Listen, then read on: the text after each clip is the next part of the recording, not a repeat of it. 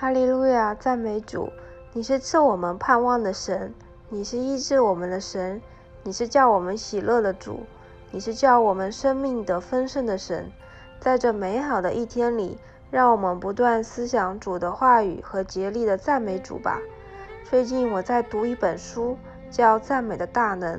当我们起来赞美时，主会在沙漠开江河，在旷野开道路。我们所得到的荣耀，并不是靠自己所得，也没有什么可夸胜的。但是依靠主所得的，却是平安且喜乐又丰盛的。耶和华是我的牧者，我必不致缺乏。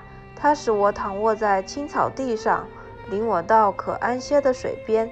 在阅读《赞美的大能》这本书时，并且结合自己曾经处在一个低谷的经历时，令我明白，我们不仅是要在顺境中保持良好的心态，多多赞美，而是要在逆境中也要多多赞美、祷告、仰望神。因他说，我们要常常喜乐，不住的祷告，凡事谢恩。若我们是真实的相信主，心里有对他确实的信心。就该聆听他的话语，主的羊也必聆听主的声音。不但如此，就是在患难中也是欢欢喜喜的，因为知道患难生忍耐，忍耐生老练，老练生盼望，盼望不至于羞耻。因为所赐给我们的圣灵将上帝的爱浇灌在我们的心里。当我们在逆境中选择坚持相信神。依靠主时，相信说这是主所允许发生在我们的身上的，为的是重新雕塑我们，挪去我们身上不合神心意、不属灵的部分。凡事多祷告神，多去寻求主的心意，而不是自己肉体的己意。神所预备的超乎我们所求所想。虽然有环境的影响，但我们谨守神的律法，谦卑回转归向神。环境看到不可能，但要有信心度过。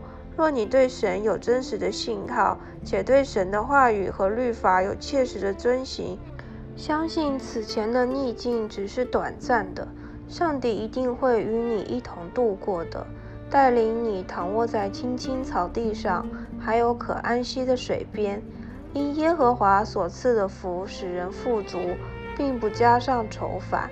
很多时候，我们会埋怨神，埋怨神离弃了我们，看不见生命的富足、喜乐、平安，还有健康，还有神对我们的好。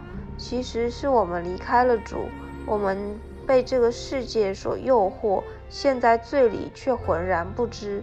当我们爱世界的心太多了，主就不与我们同在了。即使前一天我们在说爱主。明天就爱上了马门的灵，侍奉金钱；即使前一天说爱主，明天就思想了情欲的事；即使前一天说爱主，明天就自己当上了偶像可拜他人为偶像，自己却浑然不知。世界充满着诱惑，求主保守我们每一天的工作、家庭、生活，洁净我们的心，更新我们的灵。也愿在听这个视频的你们，生命无论遇见了多大的风浪，经历了多少的低谷，希望都有一个美好的信念，相信一切都会变好的。在主的应许中，哈利路亚，将荣耀归于主。